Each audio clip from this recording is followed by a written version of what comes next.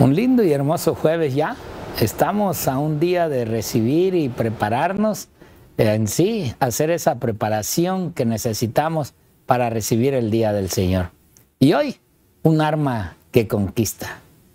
Que cuando vemos que el enemigo se está acercando y vemos que todo está terminando y vemos que no vemos, que pensamos que no vamos a ver la luz del día de mañana, siempre hay algo que vence esas preocupaciones y esas angustias. Y todo, como hemos dicho esta semana, la oración es la que nos va a llevar a vencer a través del poder de Dios. Por eso, hoy esa arma que conquista, vamos a ver cuál es esa arma. Y hoy nuevamente mi hermana Irma está aquí, todavía acompañándome para darles esta hermosa meditación. Aquí seguimos, aquí seguimos, pastor, fieles, fieles, para poder exponer la palabra este, conforme el Señor vaya indicando, ¿verdad? Y agradecemos porque pues nuevamente estamos con ustedes, muchísimas gracias. Se pudieron dar cuenta que toda esta semana estuvimos nosotros practicando esta cuestión del agradecimiento, ¿verdad? Dando las gracias porque ustedes nos sintonizan.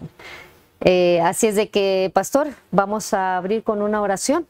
Amén. Para que así podamos avanzar, porque después el tiempo nos gana y estamos corriendo diciendo otras cosas. Vamos vamos a, invitar ahora.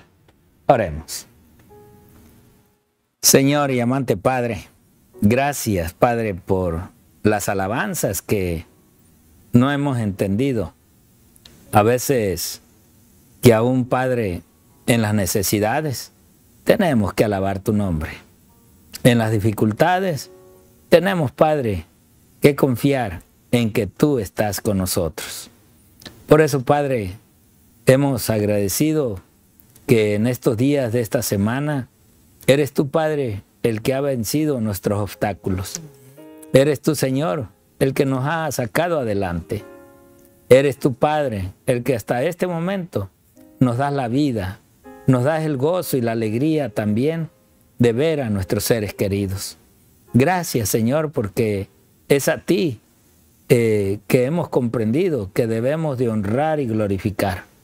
Oh Padre, pedimos que en este momento tu Espíritu Santo esté con nuestros hermanos, con aquellos, Padre, que día con día estudian esta tu palabra, que meditamos, Señor, a través de estos estudios, lo que realmente, Señor, tú deseas y tú quieres que seamos, Padre, para contigo.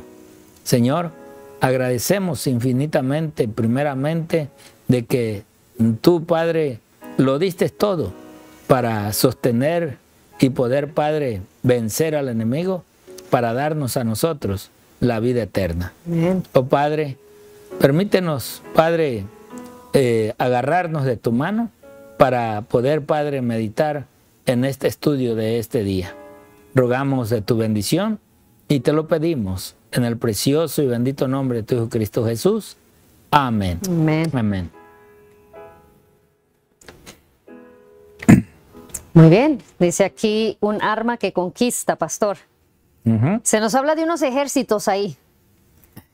Este, no sé si ustedes tomaron el tiempo, ¿verdad? Bueno, queremos dar las gracias porque todavía se, se mantienen aquí con nosotros, con la iglesia en el estudio. Y eh, no sé si ustedes tomaron el tiempo y si no, tomen el tiempo para abrir el libro de Crónicas, ¿verdad? En el capítulo 20, segunda de Crónicas 20 del 1 al 30 es donde va a estar este todo nuestro tema de esta de esta hora o de este día.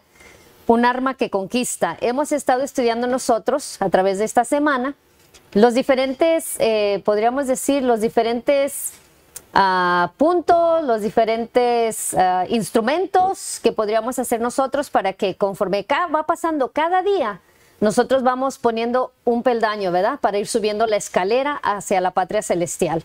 Hemos visto que eh, necesitamos empezar a ser agradecidos, orar siempre constantemente, estar regocijados, orar, eh, estar conectados con el Señor, esa conexión que el Señor requiere, eh, una vida de alabanza constante.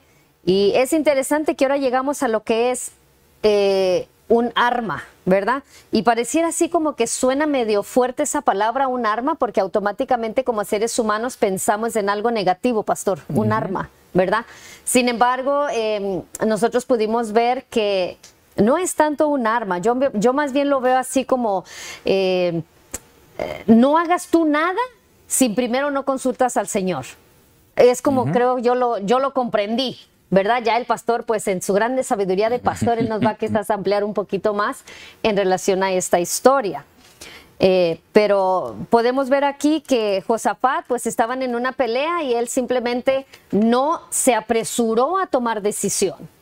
No se avalanchó a decir absolutamente nada, sino simplemente esperar para consultar a Jehová para ver cuál era la respuesta a la petición que se le estaba haciendo. Eh, así es de que vamos ahí en Segunda de Crónicas 23, ¿verdad? Solamente para confirmar. Segunda de Crónicas, capítulo 20 y versículo 3. Y dice ahí, entonces él tuvo temor y Josafat humilló su rostro para consultar a Jehová e hizo pregonar ayuno a toda Judá. Estoy pensando, pastor, que de acuerdo a este versículo, eh, el arma puede ser no solamente consultar a Jehová, sino ayunar respecto a la situación que tú estás viviendo. O a la necesidad. O a la necesidad. Ya vimos que hay que orar, ya vimos que hay que alabar, ya vimos que todas estas cosas y ahora llegamos hasta lo último de esta semana, que es ahora consultar y ayunar. Y ayunar. Que muchas de las veces nosotros no nos gusta eso, ¿no? Porque ayunar pero hay diferentes tipos de ayunos, pastor. Claro, claro. Yo creo que no es tanto que te tienes que sacrificar a dejar de comer, pero creo que, como dice aquí la palabra, consulta al Señor y de acuerdo a la necesidad de tu salud, ve a ver qué tipo de ayuno es el más conveniente para ti. Porque quizás el que sea para mí, pastor, no es para usted. ¿Verdad? Así es de que consultemos al Señor y ya el Señor nos indicará eh, cuál sería nuestro el ayuno que nosotros podemos implementar en relación a la situación que tú estés viviendo ahora. adelante, Pastor. Gracias, Irma. Eh, bueno, eh, realmente la, la, historia de Segunda de Crónicas, capítulo 20, nos habla, sí, como decía ya el versículo 3, un gran temor que tuvo este rey Josafat, porque no venía nomás un, un grupo, sino venían otras naciones. O sea, cuando menos tres naciones venían a atacarla. Y en aquellos tiempos, pues no eran 50, 100, no, eran miles de guerreros, guerreros fuertes, poderosos, que Josafat pues vio eh, lo que es Judea y dijo, no, nos van a acabar. Eh, en realidad, entró el temor. Y el temor, miren, eh, que esta historia de Josafat debería a nosotros a llevarnos eh, a lo que es la realidad. Y que es el momento que quizás en esos temores, en esos crisoles que, Dios nos permite, es, es para que, o sea, el Señor lo permite para que uno reaccione. Y, y Dios quiere ver a ver hacia dónde, qué vas a hacer, ¿Qué, en realidad, a dónde está tu fe? ¿Qué, ¿Qué, piensas en ese momento? Y Josafat, ni menos ni perezoso, él, él sabía, porque las historias que ya se habían vivido, pues no era cuestión de que pues el pueblo de Israel de aquellos tiempos logró las victorias por su fuerza, por su multitud de gente, porque pueblo grande era. Pero no las ganaba así. Siempre era Dios quien ganaba las batallas de ellos, siempre. Por eso Josafat lleva a todo Judea a, un ayuno, a, la oración, a, que en realidad Dios eh, tuviera eh, ese derecho de ellos de poder apoyarlos. ¿Qué, qué mejor, hermanos, en una guerra de este tipo, tener el ejército del cielo. ¿Qué, mejor? Eh, y Josafat lo sabía. Por eso es de que aún en estas batallas, que muchas veces nosotros las tenemos espiritualmente. Pero saben que a veces cuando nosotros tenemos esas guerras, no reaccionamos. O sea, nosotros nos queremos defender nosotros, porque muchas veces decimos, pues si yo tengo también el derecho, yo también soy un ciudadano común y corriente como cualquiera, y yo tengo derecho, y yo puedo defenderme, yo puedo hacer de lo mío, o sea, yo, yo, yo puedo meter las manos, yo, yo, yo puedo hacer lo que pues yo creo conveniente y que lo que tengo que hacer. Pero ¿sabes por qué? Porque nuestra fe no está realmente donde debe de estar. Nuestra fe está fuera de los ámbitos espirituales. Y, nosotros vemos en esta historia que en realidad eh, Josafat eh, se entrega y no nomás él, él pide a todos porque hay una amenaza y que se están acercando, están viniendo. Ahora, cuando él recibe la orden de lo que tiene que hacer, ¿te acuerdas de Josué? Usted dice, dime qué quieres que haga. ¿Cómo voy a vencer? ¿Cómo es que voy a entrar a Jericó? ¿Cómo lo voy a hacer? Esas murallas son gruesas. ¿Sabes cómo eran las murallas?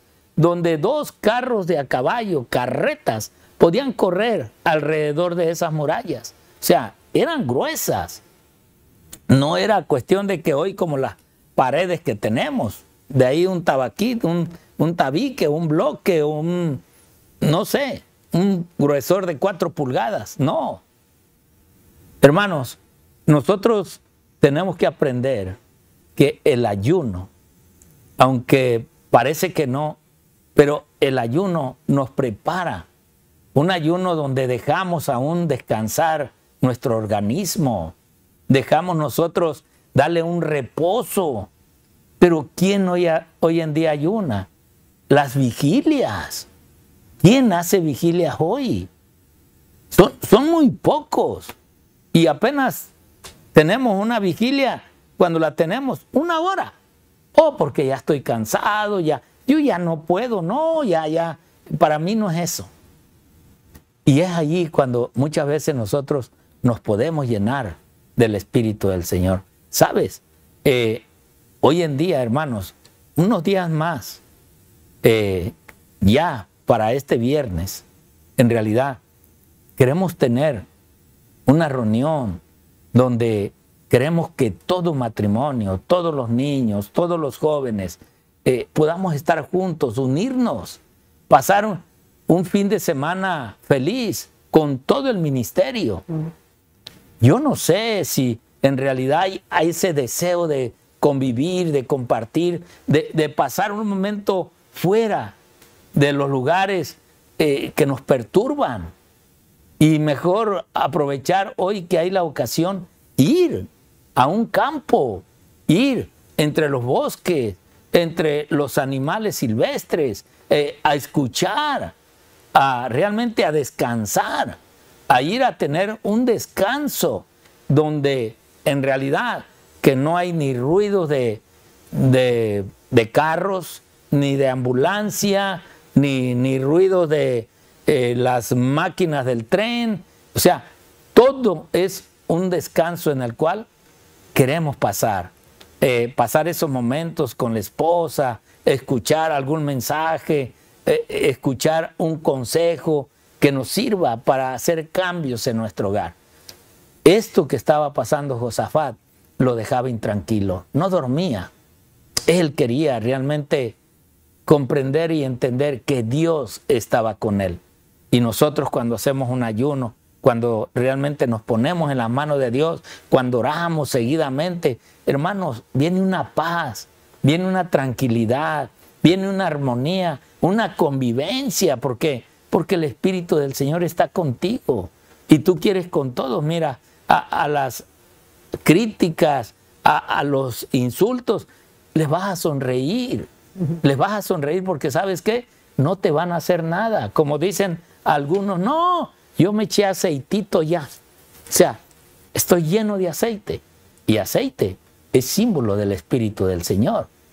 Pero en realidad, cuando uno dice me eché aceite, hermanos, esperamos que ese que trae aceite no saque ni ofensa, sino solamente palabras de amor y de paz contra aquellos que pensamos y creemos que nos dicen algo. Creo que por eso, pastor, creo que por eso es que cuando tú estás lleno de Cristo, no hay cabida. O sea, no hay cabida para que tú en ti se, se despierte ni venganza, ni malos, malos entendidos, ni discusiones, nada de esto. ¿Por qué? Porque el Señor mora en tu corazón y no hay cabida para eso, porque lo único que hay en tu corazón es alabanza, gracias. Eh, cuando tú te pones a ayunar, eh, sería bueno quizás otra implementación, pastor, en nuestra vida diaria, eh, de implementar el ayuno quizás una vez, una vez por semana. Sí, así como nosotros tomamos el reposo de nuestras actividades que el Señor nos da el sábado, igual. ¿Por qué no te propones quizás ayunar un viernes? ¿Verdad? Y no tiene que ser quizás todo el viernes, puedes empezar con horas, eh, como lo que se dice un ayuno intermitente, ¿sí? Empiezas a ayunar ya por decir desde las 6 de la tarde del viernes y, ya pasas, pasas en descanso todo el sábado y no tomas almuerzo o desayuno hasta el siguiente día. Tú haz tu ayuno de acuerdo a los horarios, de acuerdo a tu salud, un ayuno quizás de 8 horas, un ayuno de 10 horas, 12 horas, 16 horas, eh, en el cual, pues, como dice el pastor, te va a ayudar para que tú puedas tener ese descanso a nivel digestivo, a nivel mental. O sea, tú vas a poder descansar de lo habitual y tú vas a poder brindar a tu cuerpo un descanso. El Señor ya no los da el sábado, porque Él dice, el sábado es santo, apartado. O sea, en ese día tú no estás haciendo yendo a trabajar, ni mucho menos. Y si lo estás haciendo en el nombre del Señor, dobla rodilla, pide perdón, empieza a establecer la relación, la conexión que tú necesitas con Dios, porque Él va a proveer. Estudiábamos nosotros hace dos semanas que Él, nuestro, él es nuestro proveedor, en todo sentido de la palabra. Pero ahorita en, esta, en este día de hoy, Dice, eh, me gustaría leer con ustedes Primera de Corintios, capítulo 10, versículo 31, ¿sí? Primera de Corintios, capítulo 10, versículo 31, ¿sí? Donde el Señor nos está haciendo, nos está amonestando, nos está ayudando. ¿Y qué es lo que nos dice ahí? Dice ahí, si pues coméis o bebéis o hacéis otra cosa, hacerlo todo para la gloria de Dios. Fíjate lo que nos dice aquí en Filipenses 4.8. Filipenses 4.8. Aquí nos está diciendo, todo lo que nosotros hagamos, hagámoslo para la gloria de Dios. ¿Vas a ayunar? Hazlo para la gloria de Dios. ¿Vas a alabar? Hazlo para la gloria de Dios. ¿Sí? Y fíjense lo que nos dice aquí en Filipenses 4.8. Por lo demás, hermanos, todo lo que es verdadero, todo lo honesto, todo lo justo, todo lo puro, todo lo amable, todo lo que es de buen nombre, si hay virtud alguna, si algo digno de alabanza, en esto pensad. Entramos nuevamente con la cuestión de alabanza. Ahí nos está dando varias, varias eh, palabras importantes. Todo lo que es verdadero, todo lo que es honesto, lo justo, lo puro. Si tú apartas un tiempo, así como lo hacemos nosotros como adventistas del séptimo día, sábado, se, ha apartado para el Señor, nuestras vidas entran en un reposo, nuestros corazones entran en una alabanza.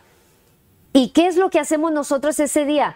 Deberíamos, ¿sí? El consejo de Filipenses 4.8, todo lo que es bueno, todo lo que es puro. Primera de Corintios, todo lo que nosotros vamos a hacer es para alabar y honrar y glorificar el nombre de Jehová. Aquí se nos está hablando, ayunar, hazlo para la honra y gloria del Señor. No digas, voy a ayunar porque quiero bajar libras.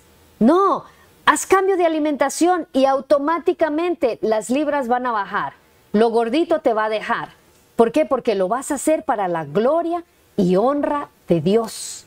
Amén. Importante. Amén, sí.